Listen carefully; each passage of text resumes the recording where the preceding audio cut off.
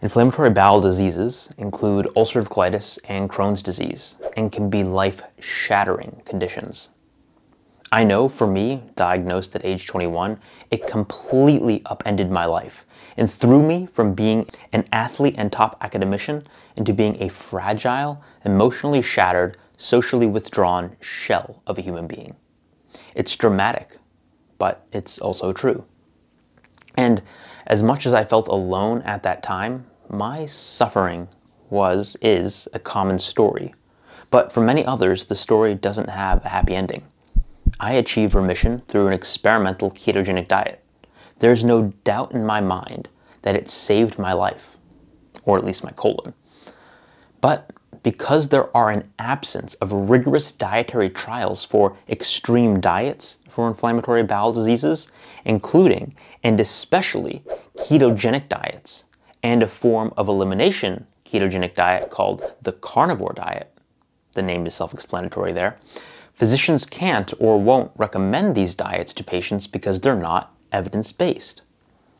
But absence of evidence isn't evidence of absence. In other words, the research question, can a ketogenic and or carnivore diet help treat inflammatory bowel disease, even put it into remission, some might even say cure, hasn't been rigorously investigated. You can tell me why you think that is.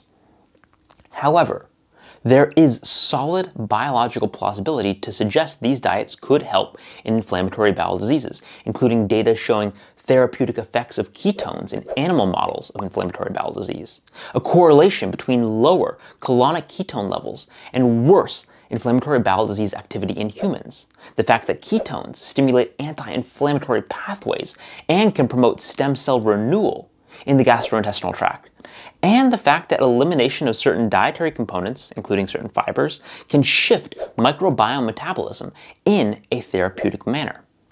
Now, in this new study, new publication, a case series of 10 patients with histories of inflammatory bowel disease, either ulcerative colitis or Crohn's disease, we, my colleague and I, Adrian Soto-Mota, report on the remarkable stories of real people who live with real suffering, who lived with real suffering, only to go out on a limb and try something extreme that they report unequivocally improved their quality of life.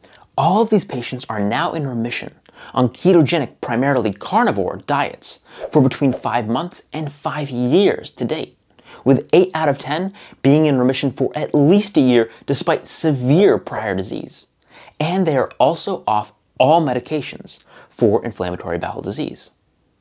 Of note, many of these patients did experiment with a litany of treatment options beforehand, including both pharmacotherapy and lifestyle therapy, including corticosteroids, various biologics and immunomodulators, specific carbohydrate diet, low FODMAP diet, many variations of whole food plant-based diets, and so on.